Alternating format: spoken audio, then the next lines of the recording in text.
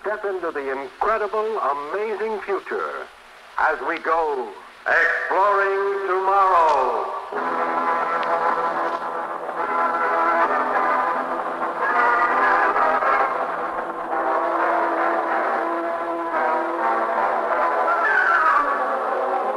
And now, here is your guide to these adventures of the mind, the editor of Astounding Science Fiction magazine, John Campbell, Jr.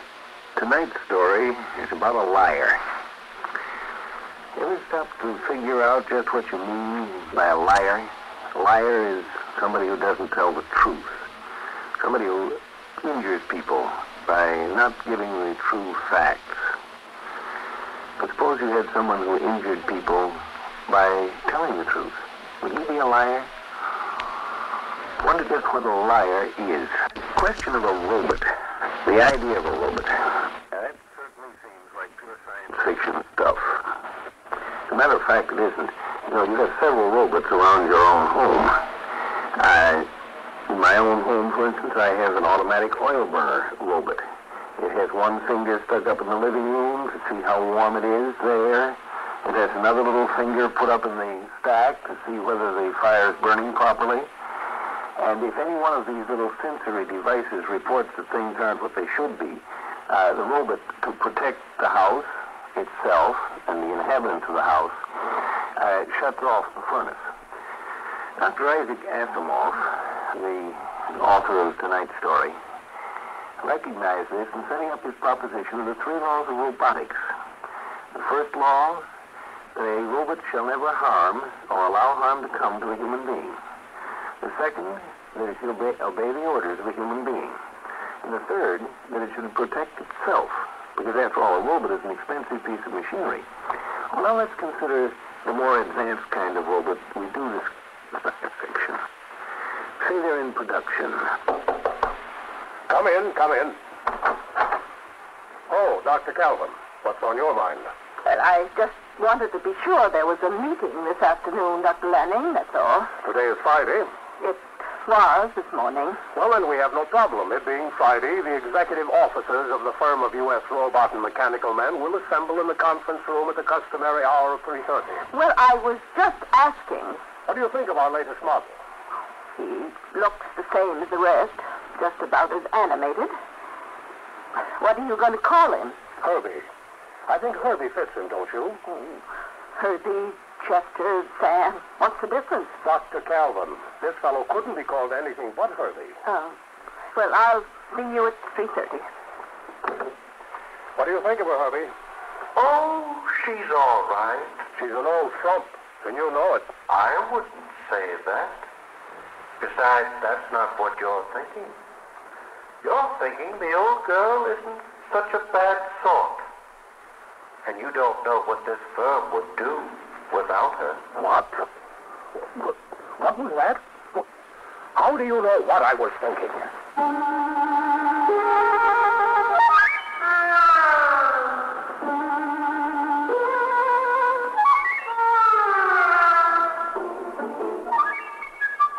Dr. Calvin, Dr. Bogert, I have purposely confined today's meeting to we three. We're in trouble. Serious trouble. What kind of trouble, Dr. Lanning? Our latest model, RB-34, can read minds. It's impossible. Dr. Bogert, I think we may assume Dr. Lanning knows what he's talking about. Take it for granted, I do. In short, we have a mind-reading robot on our hands, and we've got to find out why it reads minds. There could not have been a hitch in the assembly line. I guarantee that. You guarantee? Hmm? Dr. Bogert, can you answer for the entire assembly? By exact count, there are 75,000 operations necessary for the manufacture of a single positronic brain, each separate operation depending upon any number of factors, from 5 to, to 105. If any one of these factors goes wrong, the robot's brain is ruined. I quote your own information folder, Dr. Bogert. It is not my fault if anything went wrong. I am a mathematician, not an assembly supervisor. Well, how can you guarantee anything? I don't think we're going to get anywhere trying to fix the blame on someone. We've got to find out what went wrong.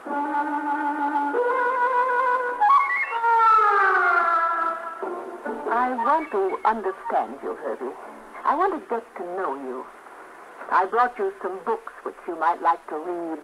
By reading them, I. Oh, I can see at once these books won't interest me. Textbooks, aren't they? Well, yes, but I... You see, I find nothing to them. Your science is just a mass of collected data plastered together by so many makeshift theories. And so incredibly simple that they're not worth bothering about. Go on. It's your fiction that's so interesting. Your studies of emotions and human motives. Human emotions interest you?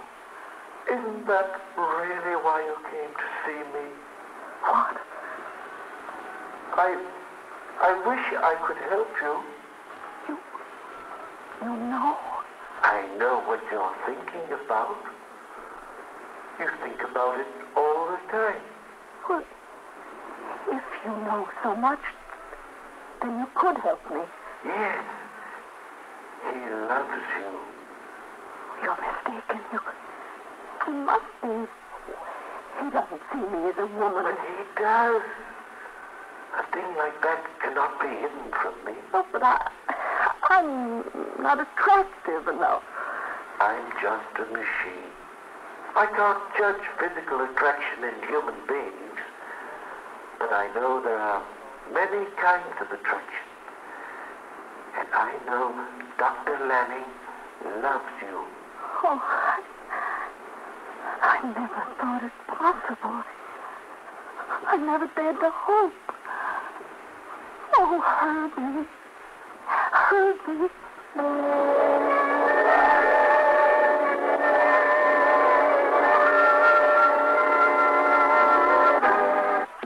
man can do something by accident that he doesn't know how to do. You know, this is something try to sometimes overlook.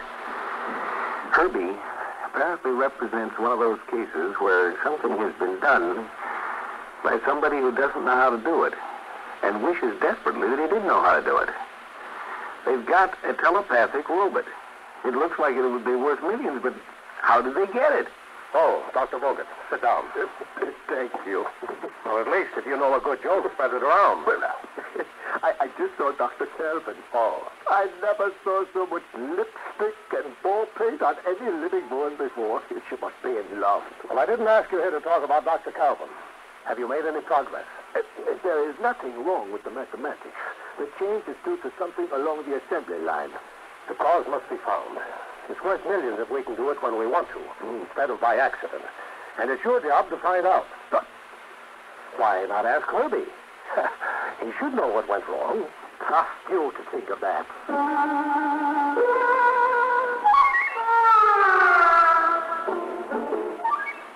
Herbie, listen to me, eh? Tell me if I uh, made any mistakes in my calculations when they built you. You made no mistake. Or if you had, how could I tell you? After all, you're a much better mathematician than me. Besides, this is not what is really on your mind. You are thinking about your superior, Dr. Lanning. And you're thinking what a good thing it would be if he were to resign. Oh, yes, now I can see how the idea pleases you. And I can tell you something else. Dr. Lanning has already resigned. But the resignation will not take effect until the, the problem of myself has been resolved. And, and then he will turn over his job to his successor. Oh, yes, Dr. Bogert, you will be his successor. You will be the new director. Happy, you are a wonderful fellow. You know that? You are simply magnificent. You are not the product of a mistake. You are the product of genius. Oh, you are a wonderful, wonderful fellow.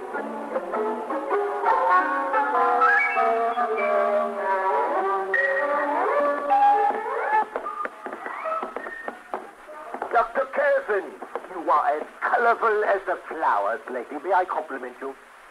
Have you seen today's newspapers? No, I really haven't had the time. He's going to be married to a girl half his age.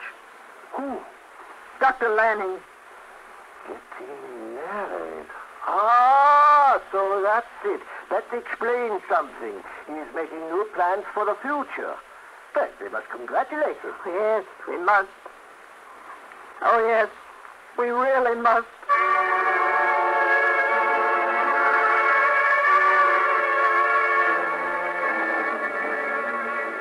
It's not true, is it, Herbie? It's not true. No, it's not true. This is just an illusion. You'll wake up soon. Yes, it, it isn't true, is it? He's not going to get married, except to me. Oh, Herbie. Herbie, I've loved him all these years, and now I know he loves me. He couldn't. He, he wouldn't marry anyone else. No, he loves you. Only you. I know, I know. He is only waiting for the right time to tell. Yes, I know. Oh, stop it. Stop it. What are you trying to do? What are you trying to do? Make a fool of me? I was trying to help you. Help me. By telling me this is all a dream. This is no dream. I wish it were. I wish it were. Why did you tell me he loved me? Why? Why? I had to. Oh, you're here, Dr. Calvin. I'm sorry to interrupt, but I want to have a talk with this, this mechanical monstrosity. Herbie, I'm talking about you, so listen to me. Yes, sir. Have you discussed me with Dr. Bogert? Well, answer me. No, sir. You haven't, eh? That's what I thought. You said nothing to him about my my resigning? No, sir. Then he was lying. Yes, sir. Well, it looks as though I'm going to have a serious talk with Dr. Bogert. really, Dr. Calvin, do you find this amusing? Oh, not very amusing, Dr. Lanning. Not so very amusing. Only I don't believe a word he's just said. You, what? I believe he did tell Dr. Bogert you were going to resign. You believe he... Herbie, is it true? Did you tell Dr. Bogert? Answer me. Can't you speak? I can speak. Then answer me. I want the truth. Oh, oh, this is very funny. Three of us, the greatest robot experts in the world, falling into the trap, the same trap. He's made fools of us. He doesn't even know enough to laugh at us.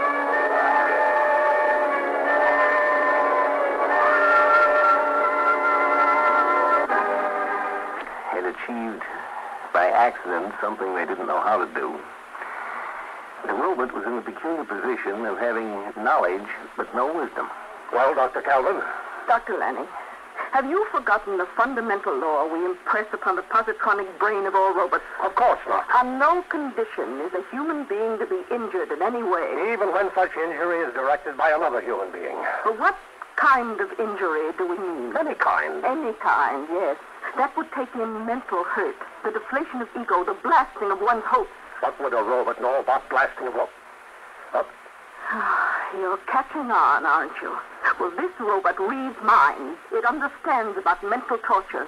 Can't you understand now that if you ask it a question, it will give you the very answer you most want to hear? Wouldn't any other answer hurt you? And wouldn't Herbie know that? Good heavens. He knows everything. He knows what went wrong when he was built, but he won't tell anyone because it would puncture your ego or Dr. Bogert's ego to have a machine tell you where the mistake was. He would rather pretend he's not able to tell you. It's incredible. Uh, let's, let's talk to him. Herbie, listen to me. Yes, sir. I have pencil and paper here. I want to know where we made the error in your construction. Well, tell him, Herbie. He wants to know. He doesn't. But I do. Yes, but not from me. I cannot tell you, Dr. Lanning. You know I can't. You don't want me to. You and Dr. Bogert would much prefer to find the answer yourselves. We want the answer. But not from me. We do want it from you. What's the use of saying that when you don't mean it? Don't you suppose I can't read below the superficial skin of your mind? Don't you suppose I can't read the subconscious mind, too? Deep down, you don't want the answer from me. I'm just a machine, given the imitations of life only by virtue of the positronic interplay of my brain. A brain that is man's device. You can't lose faith without being hurt. I can't hurt you. I can't give you the answer. And still, I insist you answer. I can't. Herbie, Dr. Lanning wants to know the answer. No, only by his own efforts. Herbie, neither Dr. Lanning nor Dr. Bogert may ever find the answer, and Dr. Lanning must know. You must tell him. I can't. I can't. But if you don't, you'll hurt him. You can see that, can't you? Yes, And still, if you do tell him, you'll hurt him too. yes, yes. But you can't tell him, can you? No. Yet if you don't, you hurt him, and you mustn't hurt. So you must tell him. But if you do, you hurt him, and you mustn't hurt. Herbie, what are you going to do? If you tell him the answer, you'll hurt him. And if you don't tell him, you'll hurt him. And you mustn't hurt. So you must tell him. But if you do, you hurt him. So you can't tell him. And if you don't, you hurt him. So you must Stop tell it. him.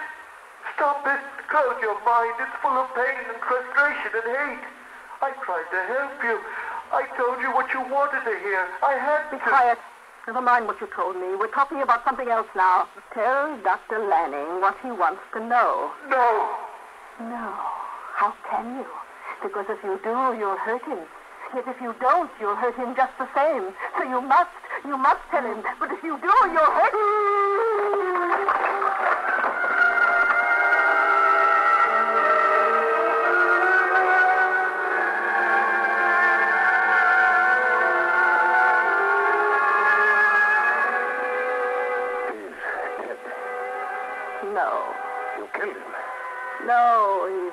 Dead. he's only insane. You did it. Yes, yes, I confronted him with the insoluble dilemma and he broke down. Well, you can scrap him now. He'll never speak again. You did it on purpose. Why? What did he do to you? What he did to me, Dr. Lanning, is my business. oh, believe me, Doctor.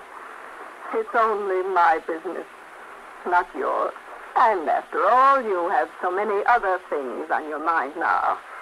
Your marriage. I haven't had time to congratulate you. No.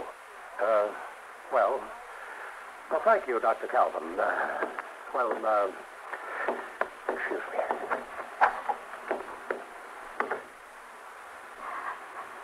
Herbie, you deserved it. You deserved to be destroyed. It was cruel what you did to me. It was cruel.